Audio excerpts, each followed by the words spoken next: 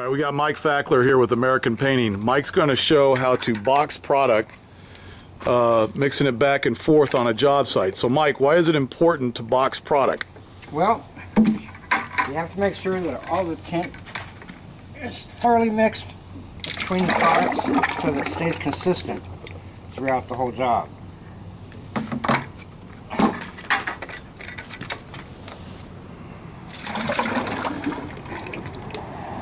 So basically all you're doing is mixing two five gallon containers together to have Right. consistent color. Exactly.